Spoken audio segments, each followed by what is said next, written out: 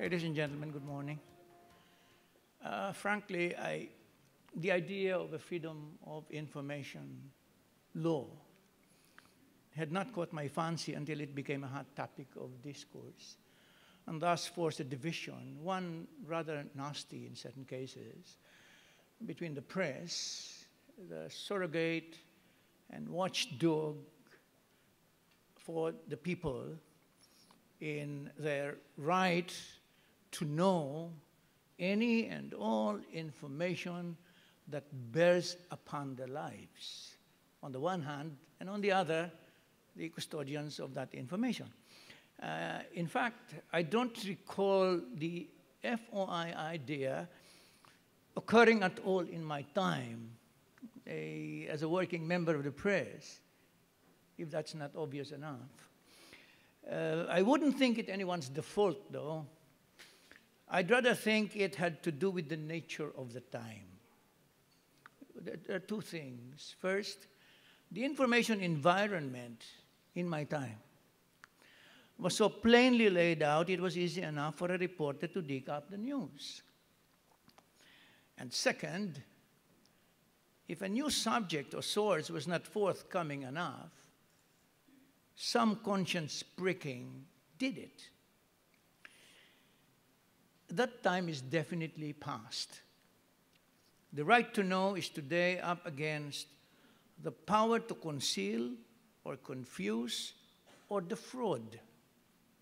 Worse, that power is wielded conspiratorially. And the question is there are two questions. One is that is a freedom of information law the answer? Indeed, if it is, then how? The second question is given that laws are selectively implemented and justice selectively dispensed in this country, is it really a problem of law or is it a problem of culture? To show how contentious the subject is, I am told that more than 20 versions of the law are around. Now, that begs an even larger question, and I hope to some extent we'll be able to answer them today. In the first panel that I have been asked to facilitate, we have three panelists. The first one is His Excellency Thomas Ossowski, Ambassador of the Republic of Germany. Mr. Ossowski came in March, only in March, and he has served in the German Foreign Office since 1992. Before coming, he worked as the Deputy of Staff of the German Foreign Minister after an assignment as the Foreign Office Head and European Union Policy Coordinator. I've been to Afghanistan as the civilian head of the German Provincial Reconstruction Team, political advisor to the ISAF commander.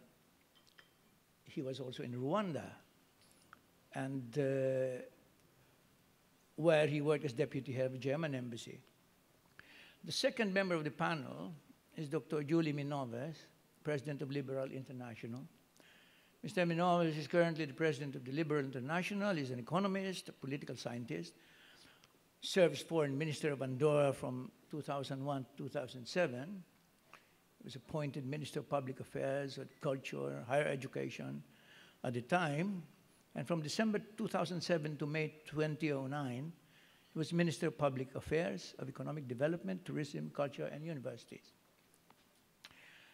The third member Gemma herself, Gemma Mendoza, research and content strategist for Rappler. Uh, Gemma serves as a bridge between uh, editorial and, and, and, the technical side of the business at Rappler. So shall we call them up to the stage so we can start the discussion. Let's give them a hand.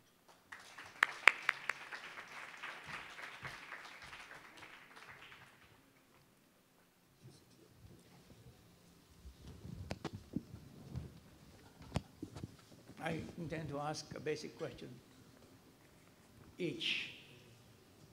And after that, we'll have, we'll open the floor for, for questions. Uh, first, I'd like Mr. Ossowski to give us an idea of how this damn thing works in his country.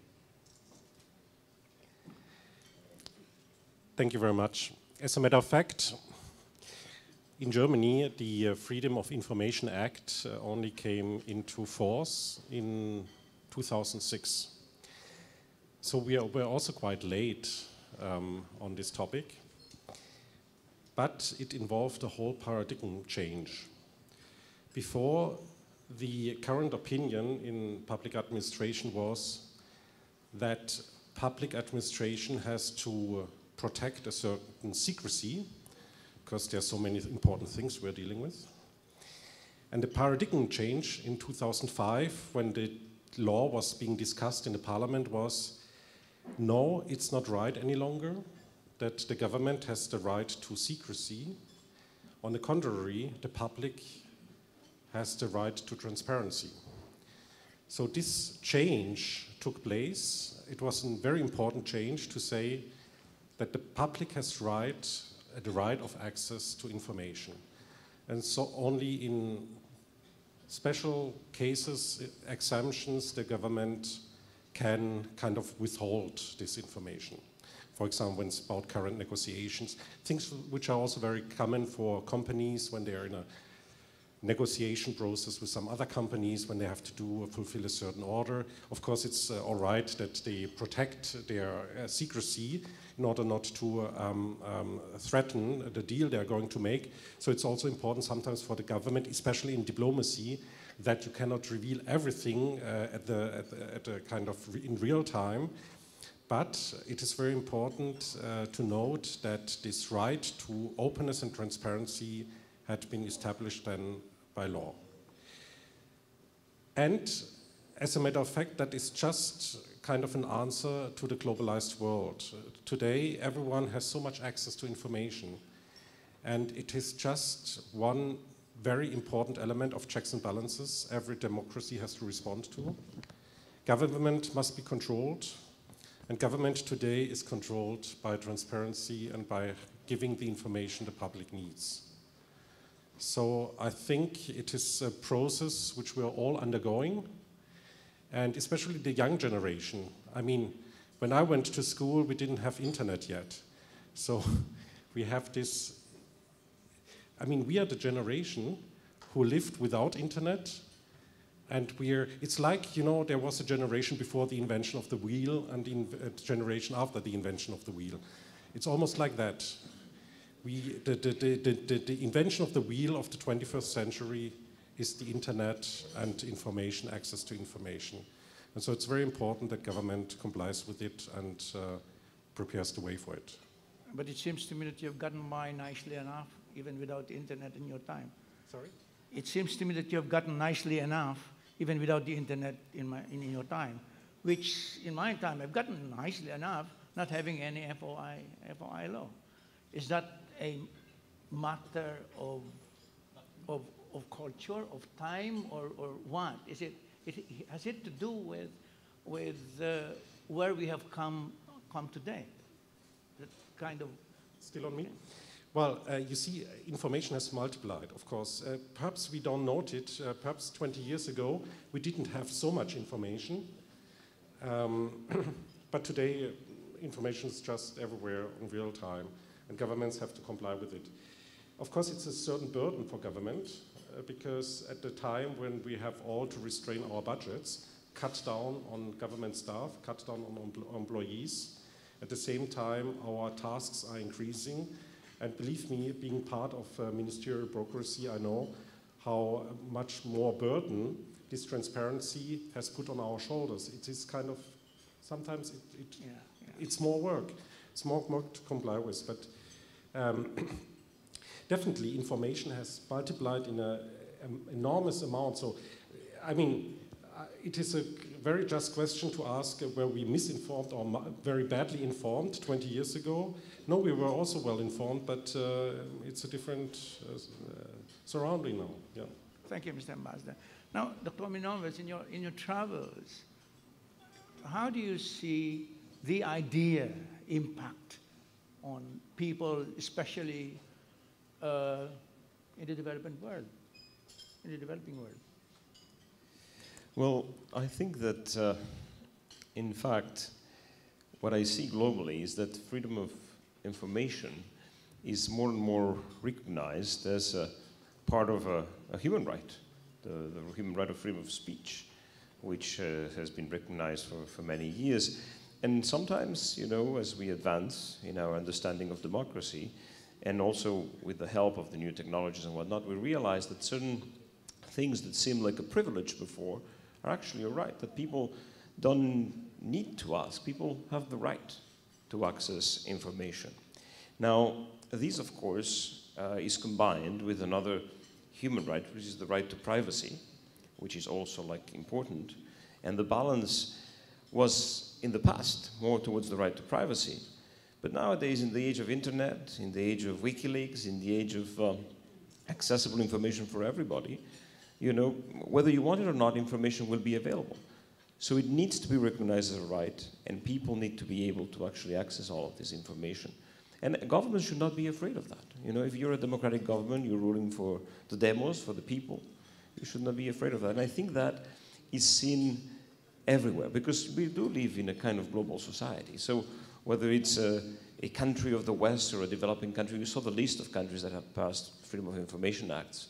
Many are in the developing world, more and more. So I, don't see much of a, of a dichotomy or a, or, or, or a difference between developing countries and, non, and developed countries in this, in this uh, area. I think that it affects us all. Although, doesn't it seem to you that in cases of the developing world, the idea of, uh, of a freedom of information is something that is taken uh, domestically, insularly. You know, it, it, they don't really look out there and, and, and, and see that this is something that will make us, uh, put us in a, in, a, in a proper place in the global scheme of things. This is something very, the, the, the interest is very domestic in, in most of the developing world. Yes, but see, maybe because, you know, I represent 120 parties, political parties in 80 nations, I tend to look at the big picture. Yes. And frankly, um, I think every country, you know, is, is advancing on this issue. I think in 10 or 15 years, we'll have the majority of the world will have freedom of information acts. We hope, at least the democracies. Yeah. Thanks, Dr. Minoves. Now, Gemma, I am I'm curious myself. In your studies, uh, did you get any did you get any idea of how this freedom of information environment works in, say, China or Pakistan? sorry, uh, we, we didn't look closely into China and Pakistan, but what we have seen is that, um, well, typically, because we, we compared um, a lot of countries, we looked at the governance indicators, for instance, because we wanted to look at whether uh, it affects, it really affects governance. So uh, in many countries, uh, it did help improve uh, governance indicators, but it's not always the case because there are also countries which uh, were also undergoing turmoil. Or, um, for instance, Ukraine has a very strong uh, FOI law, but where are they right now? So, um, so, so uh, in general, it, I mean, it has uh, had an impact in a lot of countries, as we have mentioned, but uh, there are countries where uh, I guess one thing, one one way to look at it is um, the FOI is a tool that countries who are undergoing democratic transitions use to force openness, to force democratic space. That's how we, yeah. we see it. On the particular point of personal privacy, which is an exemption. I wonder how it relates to, to people in public office, because you cannot I mean, it becomes an issue of character when it comes to public office. That's yeah, interesting yeah. because actually in the UK, one of the cases where uh, FOI has been invoked, uh, uh, in um, the Information Commissioner has ruled to make expenses of uh, um, legislative uh, parliamentary members uh, available to the public, and this is uh, still undergoing a lot of debate in in that country. So, so that's another like. Uh, some say it's because of it's very intrusive because they'll have to reveal certain types of information. But again, the, the question is really, and in most countries that we study, the balancing act is like uh, you have privacy but also public interest. And public interest uh, meaning like um, are, are funds abused, are, are funds misused? Yeah. Uh, we, at, at this point, we'd like to open the discussion to the floor. Anyone who has a question to any of our panelists, please just rise and identify yourself and do shoot your questions. Anyone?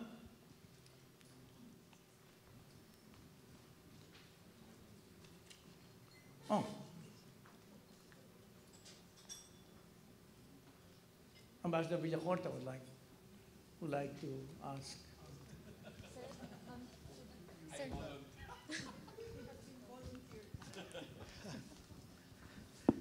Uh, good morning.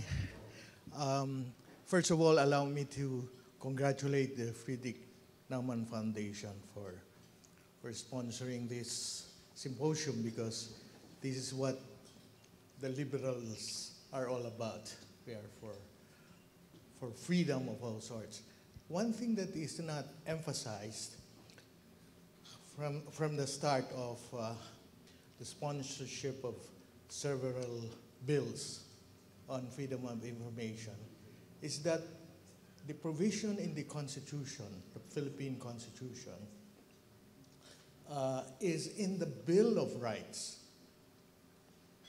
You see, in any constitution of any democratic country, uh, the Bill of Rights is considered to be the most important. And strictly speaking, you don't need an enabling legislation to implement it. And if we look at, uh, I have the Constitution here. if you look at, the, at Section 7, Article 3 of the Bill of Rights, you can find the right of the people to information. It's a basic right now, not only in the 21st century, it is a basic human and civil right. Now, why are our lawmakers dragging their feet? People say, if we had FOI, maybe we would not have PDAF. I'd like to phrase it differently. They don't want the FOI because of PDAF. That's what they're hiding all along. So this right, in fact, it should not be called freedom of information.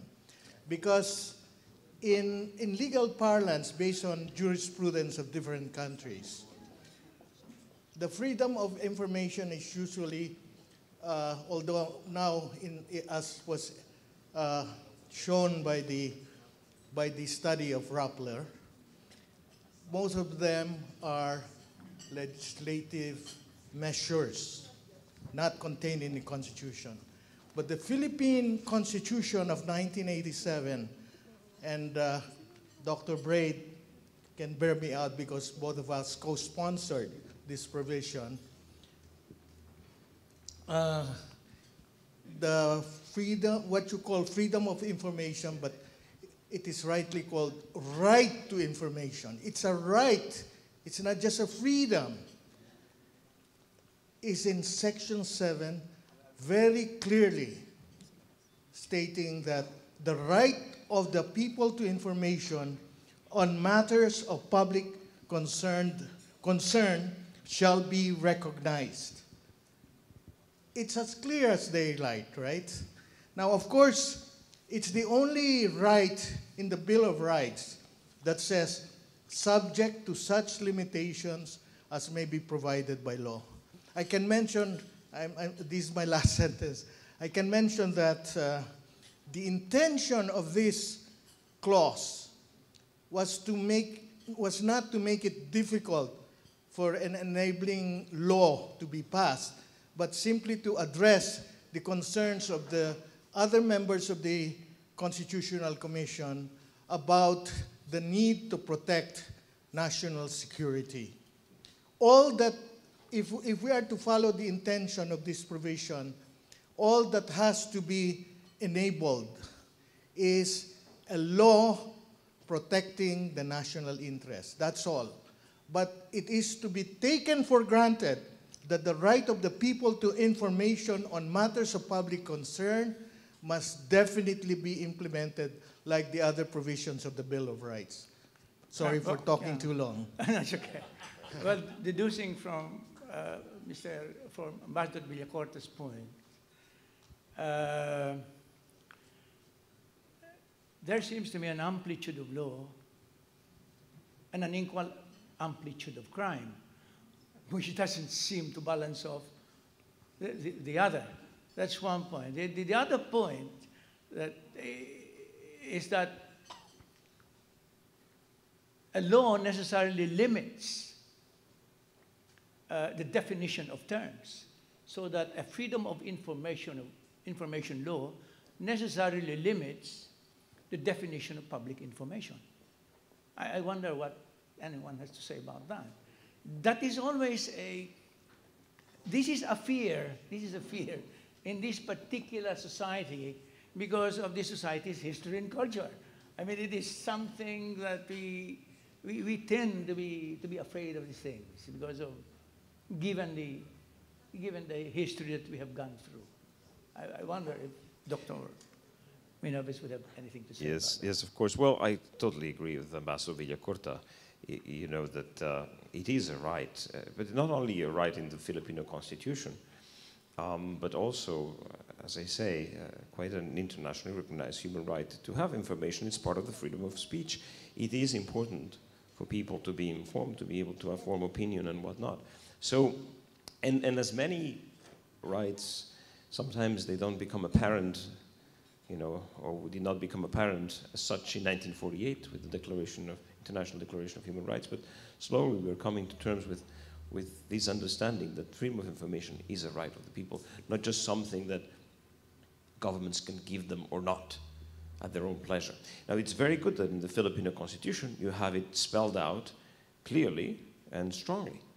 But still, you do need a law to actually spell out how to uh, uh, implement it, right? Because it's uh, uh, an abstract right in the Constitution does not say, for example, which exceptions there are and, and how to, like, you know, give the information, what's the, the, the, the number of days that, that, that you can wait or not to give uh, information. So a law will be very good because then uh, the, the right can be exercised. People have clear juridical, um, uh, clear juridical framework, and they can say, "Well, I need this information," and they know that within 10 days or 15 days or two months at the most or something, they will have to get that information.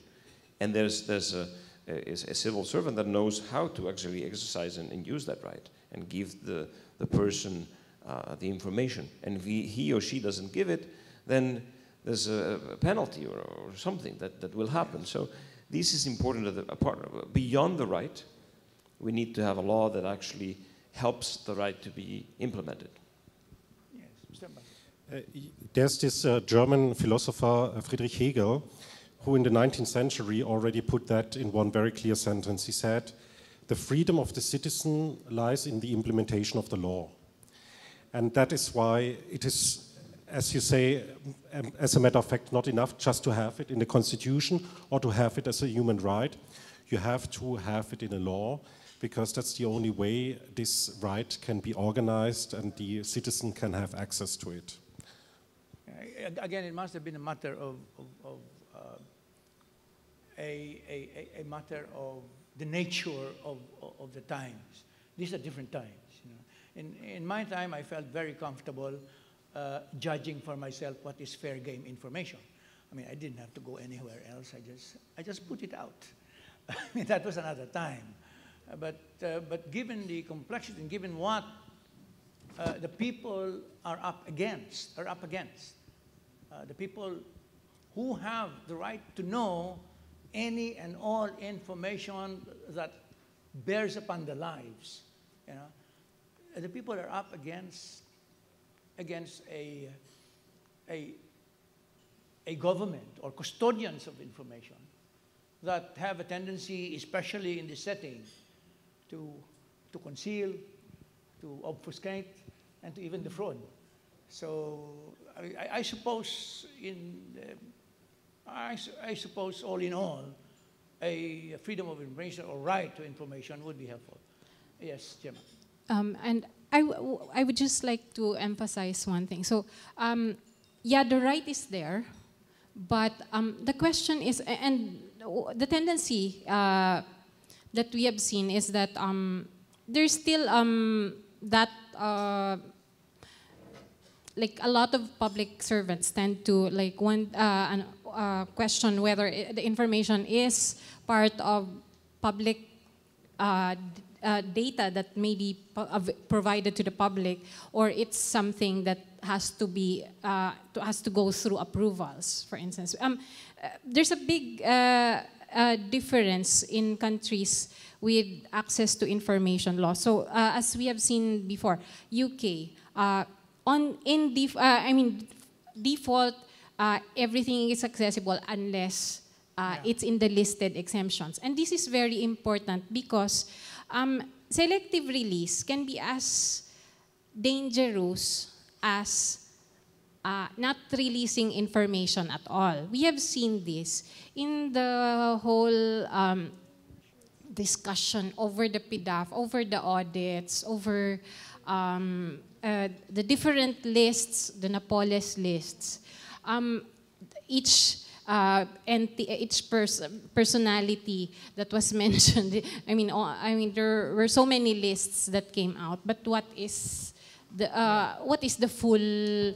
Uh, I mean, I mean, the public has the right to know what's the real picture, and the real picture comes out if uh, if all the data is there, if there is no, uh, there are no filters to, like if we say, okay, so many have received these funds, so many have received uh, the, the uh, disbursement acceleration funds, all that data is actually released, not portion of it. And that is something that happened, I mean, uh, that was actually something that was raised before. Similarly, um, um, if only um, certain officials release their information and others don't. Uh, that's not fair. And um, you, the public does not get the full picture. So, so th that's the reason why uh, such a law is still necessary. Because then uh, that public disclosure I mean, like what is publicly available? What is a public document? There's there yes, seems to be that idea that there are public, uh, there's information in government hands that's not public yeah. document, and that has to be uh, that kind of perception has to be removed. I think. I, at, at, any rate, being a rights and freedom extremist myself, I would not discourage any journalist from deciding for herself or herself what is fair game information. I mean, that's, that's, I think, the position that every journalist should take. Now, she, they should not be discouraged, law or no law, to decide for herself or himself what is fair game information. Any other questions? Oh, yes. Mr. Young. Thank you. First, an apology for being late and therefore didn't have the opportunity of getting as educated as the rest of you who are punctual. But uh, my question would go a little bit uh, beyond the right to information and the necessity to get information. And I'm quite pleased to hear the, uh, the uh, clarification of our, uh, our constitution, the uh, embedding in the constitution the right to information. I come from a world of regulators, and one of the problems of regulators is the uh, privacy. The privacy, particularly the Philippines Bank Secrecy Act, absolute. And so, uh, because of that absoluteness, the practical way to do with uh, getting a fair share of the tax was to put a final 20% tax on interest earned.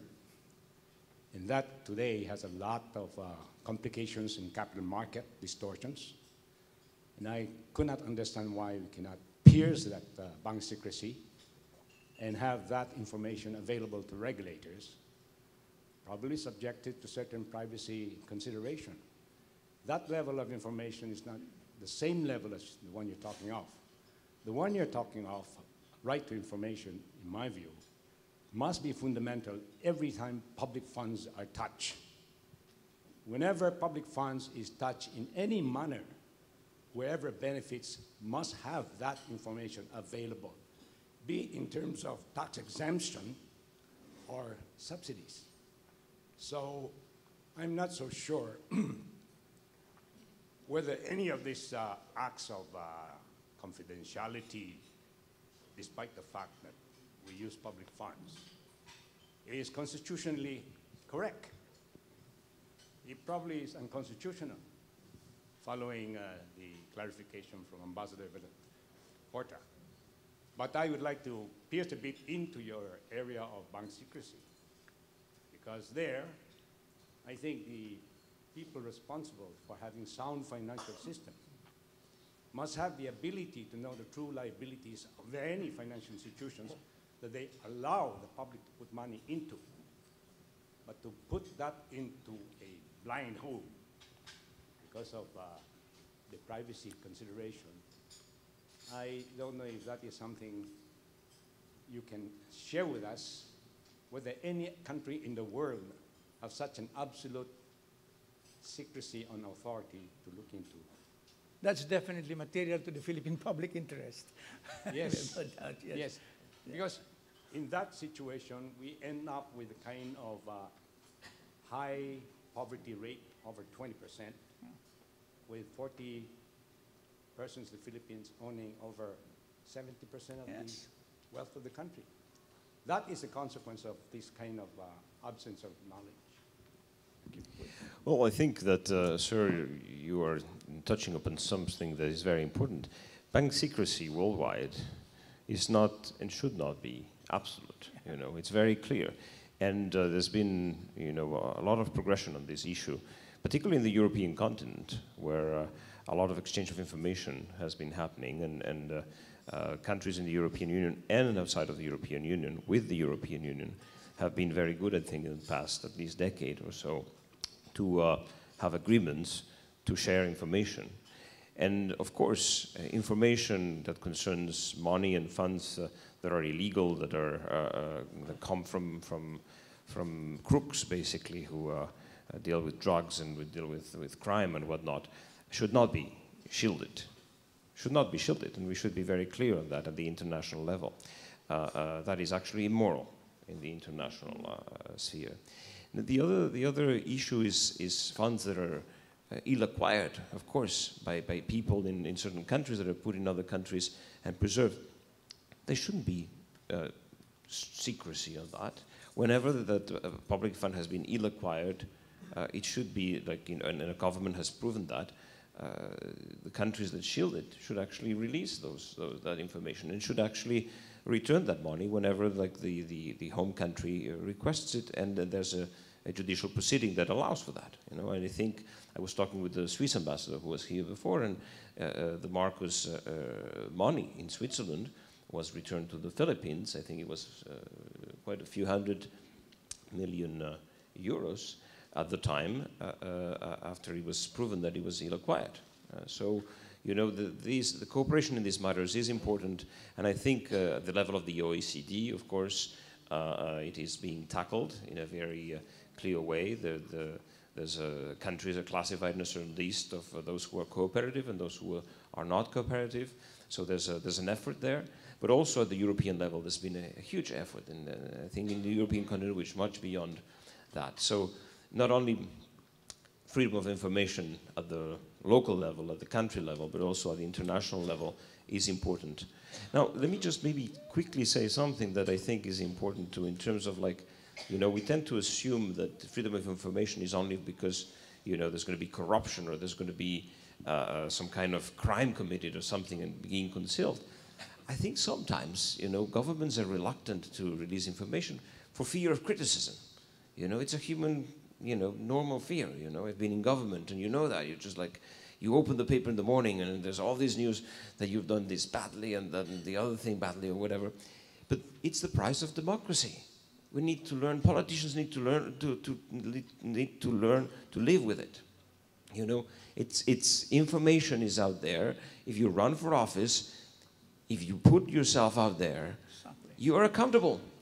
And you need to be accountable on your private, uh, uh, and your, not your private, you know, everyday acts, but everything you do that touches the public trust. You know, whether you spend money from the public, whether you uh, actually, whatever you do, you're, you're out there and you've put yourself out there to be voted and elected, so deal with it.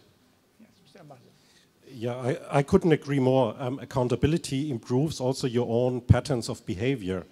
When you know that you have to justify your the things you're doing, then you also right from the start you behave in a much much better way. And that's also the reason why, sir, I also believe that the bank secrecy has also has uh, to be uh, uh carefully scrutinized, and we have to make some serious effort in that because the financial crisis in 2008 with Lehman Brothers, starting with Lehman Brothers, that was very much the result of intransparent and even irrational banking behavior. So um, to expose also the banks and the financial institutions to more transparency will also improve their acting and their actions and uh, will expose some decisions which ha would have not been made if the rationality of public scrutiny would have been there. So I think it's also very, very important that we work on that topic. We have been working on that very much in the European Union in the last years. Uh, some progress has been made, but it's uh, work uh, it's ongoing work. Yes. Any, any more questions? But I think Mr. Leong is more interested in the time, timeliness with which secrecy is, lifted. Yeah, the timeliness with which secrecy is lifted. Because, while we got some money from from, from Mr. Marcos, it was indeed a paltry sum and it took a long, long time. Know, so it, it, it's not, it's not that. It is, uh, it, is more the timing of, of the lifting of secrecy. Any, any more questions from the floor? Any more? Do I take it that everyone has been enlightened enough? okay, yes, yes. Uh, good morning. Yeah. I'm uh, Dr. Danug from De La Salle University. My concern is how to quickly uh, put this into a law. Uh, if Sweden had it 1776 uh, and we don't have it right now, I, don't, I wonder what kind of democracy we have. Uh, I also understand that there are models from which we can learn how to quickly pass this into law uh, I believe Indonesia passed this law at a time when nobody was talking about it. Uh, so, is there, uh, are there models? Uh, this is addressed to Ms. Mendoza. Are there models uh, from which we can learn how to do it right and quick uh, so that by 2016, not only that we will be concerned about corruption, but about also health of people running for 2016. Their health, uh, privacy about their lives should be openly discussed, as uh, open and as free as possible. Because I believe that good governance is also open governance. And open governance requires freedom of information. Thank you. Well, in, in the countries we studied, it's really more uh, an active push. Like India, 25 years. to, to get a law passed. Uh, an active push by citizens, by media, uh, to, for, for access. So it's, it's still an ongoing struggle for many countries. Some countries are still undergoing, are, I mean, in some countries, uh, there are still active um, efforts to amend current laws. Like the, the more recent laws are the ones that rated really high with penalty clauses and oversight uh, functions, uh, oversight bodies. But previous uh, laws don't have that. So they're, uh, I wouldn't say there's a model for passing, but I guess the reason why uh, the, the, when we were looking at this, what, what we thought is, um, here in the Philippines, uh, we feel that there's no feeling that it's urgent. There, there, there seems to be no uh, recognition that it's urgent because, uh, yeah, you have a mandate, you have uh, you have um, some frame, some sort of framework. But what we wanted to show is it's not enough. And in fact, in other countries, this is how it's done. I mean, baliktad, instead of, uh, instead of limiting, because tendency for public officials is they're afraid to release. So they get the approval of their bosses. So instead of limiting, uh, the others make it like default, gov- it's available unless it's in the exempted list. So um, it's really active citizen push that got a lot of the laws passed. Okay, it looks like this is it for this section, for this session. And let us thank our panel for their trouble. Thank you. Thank you very much.